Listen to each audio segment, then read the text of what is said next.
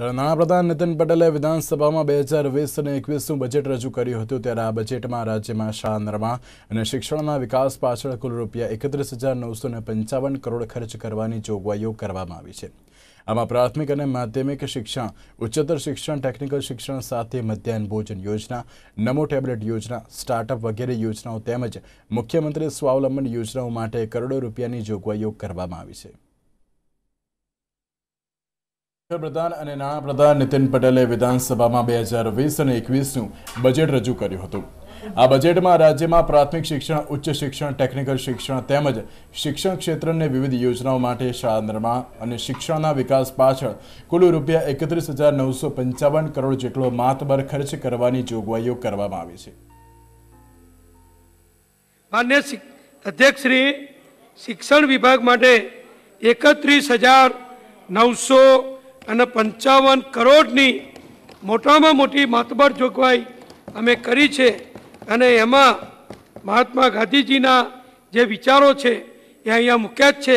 એ આધારે અમે આગળ વધીએ છીએ. બજેટમાં સરકારી શાળાઓ અનેકની જોગવાઈઓ જોઈએ તો પ્રાથમિક શાળાના વિદ્યાર્થીઓને ગરમ અને પોષણક્ષમ ખોરાક પૂરો પાડવા, મધ્યાહન ભોજન અને અન્ન સંગમ યોજના માટે રૂપિયા નવસો એંસી કરોડની માતબર રકમની જોગવાઈ કરવામાં આવી છે. આ સાથે જ રાજ્યની પ્રાથમિક શાળાઓમાં નવા સાત હજાર વર્ગખંડો બનાવવા રૂપિયા છસો પચાસ કરોડની જોગવાઈ તેમજ રાઇટ ટુ એજ્યુકેશન અંતર્ગત પ્રવેશ મેળવતા ચાર લાખ બાવીસ હજાર વિદ્યાર્થીઓ માટે રૂપિયા પાંચસો પચાસ કરોડની જોગવાઈ કરવામાં આવી છે. શાળાકીય શિક્ષણની ગુણવત્તા સુધારવા માટે રૂપિયા એકસો અઠ્યાસી કરોડ તેમજ રાજ્યની વિવિધ પ્રાથમિક શાળાના પંદર હજાર વર્ગખંડોમાં વર્ચ્યુઅલ ક્લાસરૂમ તેમજ જ્ઞાનકુંજ માટે રૂપિયા એકસો પચીસ કરોડની ફાળવણી કરવામાં આવી છે. રાજ્યની પાંચસો શાળાઓને સ્કૂલ ઓફ એક્સલન્સ તરીકે વિકસાવવામાં આવશે, જેના માટે રૂપિયા અઢીસો કરોડ રૂપિયાની જોગવાઈ કરવામાં આવી છે. સ્કૂલ ઓફ એક્સલન્સ એ રાજ્ય સરકારનો નવતર પ્રયોગ છે.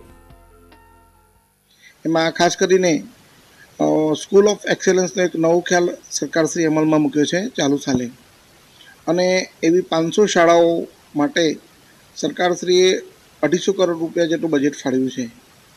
કે આ શાળાઓને એવી વિશિષ્ટ અને એક્સેલન્સ શાળાઓ તરીકે વિકસાવવામાં આવશે. એમાં લગભગ દરેક શાળાને અંદાજે પચાસ લાખ જેટલો એક શાળામાં પાછળ ખર્ચ કરવામાં આવશે સરકારશ્રી દ્વારા. જેમાં virtual virtual classroom smart classroom હશે. એમાં શાળામાં વર્ગખંડોમાં તમામ ફેસિલિટીઝ હશે. રમતગમતની તમામ અદ્યતન સુવિધાઓ હશે. તમામ ઇન્ફ્રાસ્ટ્રક્ચર એમાં સુવિધાસભર હશે. બજેટમાં ઉચ્ચ શિક્ષણ તેમજ ટેકનિકલ શિક્ષણની જોગવાઈઓની વાત કરવામાં આવે તો સરકારી યુનિવર્સિટીઓ અને કોલેજના ભવનોના બાંધકામ માટે રૂપિયા બસો કરોડ શોધ યોજના અંતર્ગત યુનિવર્સિટીમાં સંશોધન કરતા વિદ્યાર્થીઓ માટે રૂપિયા વીસ કરોડ ડીઆરડીઓ સાથે કરાર કરીને રાજ્યમાં પહેલીવાર ગુજરાત યુનિવર્સિટીમાં સ્કૂલ ઓફ ડિફેન્સ સ્ટડીઝ શરૂ કરવામાં આવશે, જેના માટે રૂપિયા સાત કરોડની જોગવાઈ કરવામાં આવી છે. પહેલીવાર રાજ્યની કોઈ યુનિવર્સિટીની અંદર ડિફેન્સ અને સિક્યોરિટીના રિલેટેડ રિસર્ચ થશે, કોર્સિસ ચાલશે અને આપણા વિદ્યાર્થીઓ જે સંરક્ષણને લગતી બાબતો છે, એની અંદર સંશોધન કરી શકશે અને સૌથી વધારેની અગત્યની બાબત પ્રોજેક્ટ્સ પણ કરી શકશે. ગુજરાત યુનિવર્સિટી એ ઇન્ડિયન આર્મી સાથે એમઓયુ સાઇન કરેલું છે.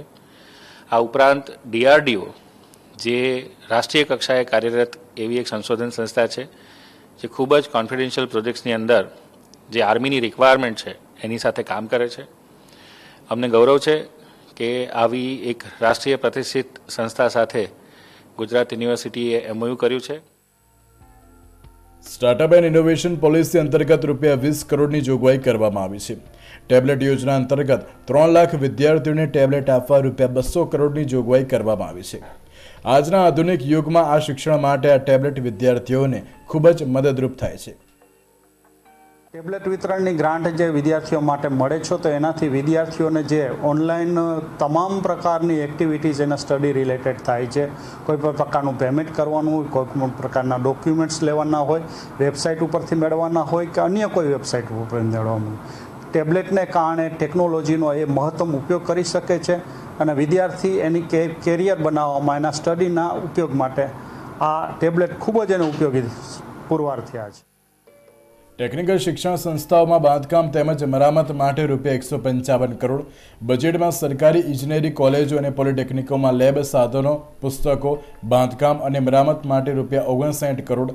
બસો એકવીસ ઉચ્ચ અને ટેકનિકલ શિક્ષણ સંસ્થાઓમાં ડિજિટલ ટેકનોલોજી અંગેની પ્રવૃત્તિઓ માટે રૂપિયા ત્રીસ કરોડ ફાળવવામાં આવ્યા છે. આ ઉપરાંત ગુજરાત ટેકનોલોજીકલ યુનિવર્સિટી માટે રૂપિયા પંચોતેર કરોડની જોગવાઈ કરવામાં આવી છે. ગયા વર્ષે અમને રોડ રસ્તા અને કમ્પાઉન્ડ વોલના બે કરોડ રૂપિયા આપ્યા હતા અને આ વર્ષે બીજા પંચોતેર કરોડ રૂપિયા અમને આપ્યા છે. આખું જે ટોટલ યુનિવર્સિટીનું ડેવલપમેન્ટ થશે એ ચાર ફેઝમાં થવાનું છે.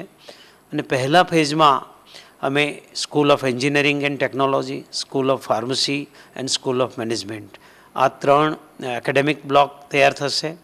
વિદ્યાર્થીઓને રહેવા માટેની ભાઈઓ અને બહેનોની હોસ્ટેલ એડમિનિસ્ટ્રેટિવ બ્લોક આ પણ સાથે તૈયાર થશે.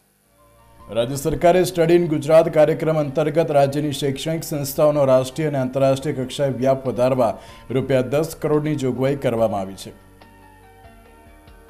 આ બજેટમાં મુખ્યમંત્રી યુવા સ્વાવલંબન યોજના માટે બજેટમાં કુલ રૂપિયા નવસો પાંત્રીસ કરોડની જોગવાઈ કરવામાં આવી છે. પ્રાથમિક, માધ્યમિક અને ઉચ્ચ શિક્ષણ મેળવતા લાખો વિદ્યાર્થીઓ માટે સર્વગ્રાહી મુખ્યમંત્રી યુવા સ્વાવલંબન યોજના અમલમાં મૂકી છે. આ યોજના હેઠળ જ્ઞાતિના ભેદભાવ વિના વાલીની આવક મર્યાદા ધ્યાને લીધા સિવાય પ્રાથમિક માધ્યમિક શાળાના વિદ્યાર્થીઓને પુસ્તક તથા ગણવેશ વિનામૂલ્યે પૂરા પાડવામાં આવે છે. તે ઉપરાંત ટ્યુશન ફી, ભોજનાલય અને છાત્રાલય જેવી સુવિધાઓ માટે સહાય આપવામાં આવે છે. આ મુખ્યમંત્રી યુવા સ્વાવલંબન યોજના માટે બજેટમાં કુલ રૂપિયા નવસો પાંત્રીસ કરોડની માતબર રકમની જોગવાઈ કરવામાં આવી છે. બ્યુરો રિપોર્ટ, નિર્માણ ન્યૂઝ